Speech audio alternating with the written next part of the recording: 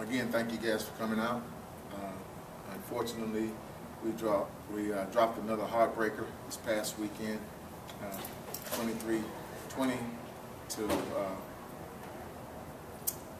View. Good attendance, good energy by the players. Unfortunately, we were not able to capitalize uh, on some turnovers, and unfortunately, we turned the ball over. I thought the game pretty much was a, a match. What they did, we for the most part did. They made one field goal, and we missed the field goal. Uh, we missed the PAT. They missed the PAT. They got a couple more sacks than we did. Uh, they had 70 plays. We had 69. I think they had 257 yards. We had 256. So the game pretty much was uh, was a, ba a balanced game. Uh, they stopped us one more time than we stopped them. Coach, what do you want to see from your offense in the second half in order to, to get over the, the hump? Well, we were moving the ball down uh, the second time we got the ball.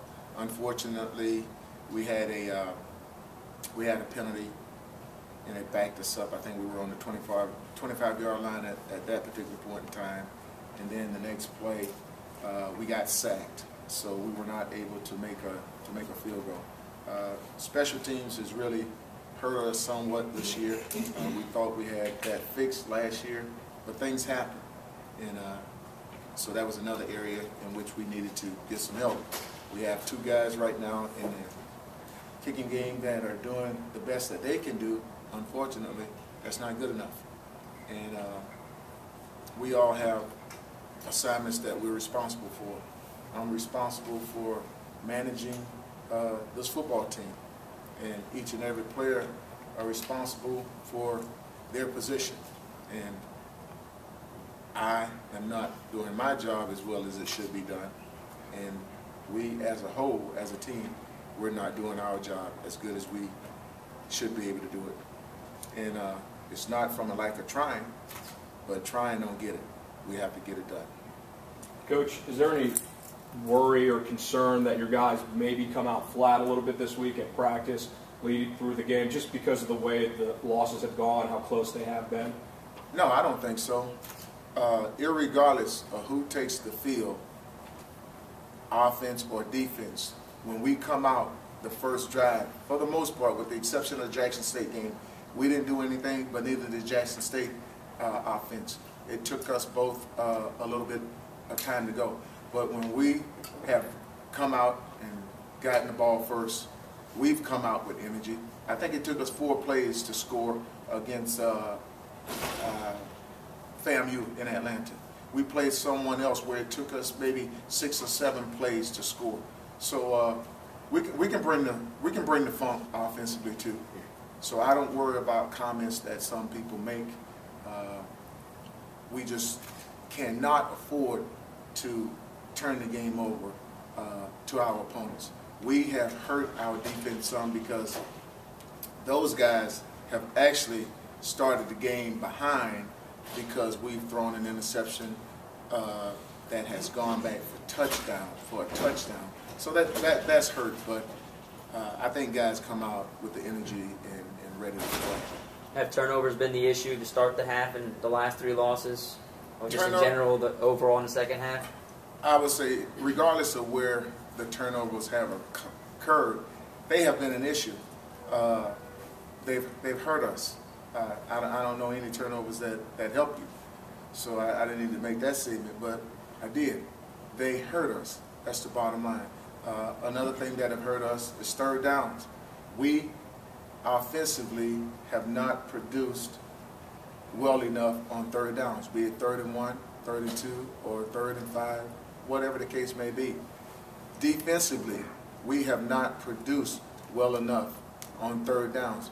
Uh, people are converting at too higher of a rate there, and we've been playing some pretty good defense, but that has hurt us.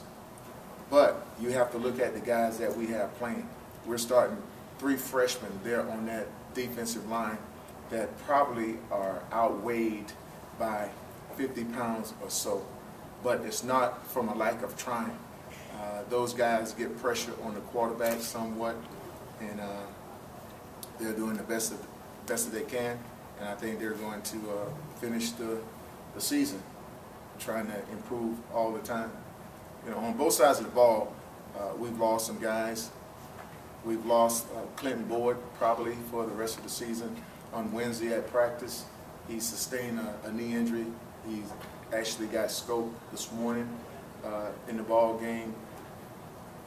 Uh, Trey Taylor went down with an ankle injury. We've had several, several ankle injuries, and it's tough for those guys to get healthy on the type of playing surface that we are practicing on. It's extremely bad, the football field, you know. Uh, so Southern alumni, Southern University uh, need you all to contribute to funds for the field. Uh, I've contributed $10,000 to that project. It's not moving uh, as well as we would like, just like the success, the success of this football team is not moving as well as we would like.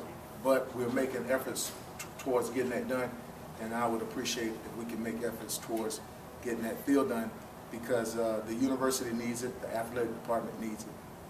You talk about Sylvester's, I guess, last three games, how he's really come on and helped you guys out in the running game. First 100 yard rusher you've had since you've been here. Well, Sylvester has come along because the offensive line has come along. We have some big bodies on that offensive line. Uh, we're running inside zone for the most part, and those guys are just getting their big bodies on other opponents, and, and things are starting to happen for us. But on the contrary, in the passing phase of the game, those uh, freshmen, they don't pass block as well as some of the veteran guys that were in there, and uh, that's a, a little bit of, of a concern. What's the scouting report on Pine Bluff? I know they started well, but then coming off some, some key losses. So, did you catch them at the right time? Well, it's the right time because it's another game. Uh, we don't particularly care about who we're playing, just how we're playing. It has not been uh, the opponents that have beaten us offensively, I, I would say. And guys work hard every day when they come out offensively, but we cannot afford to turn the ball over. I don't care who we're playing. We made games close.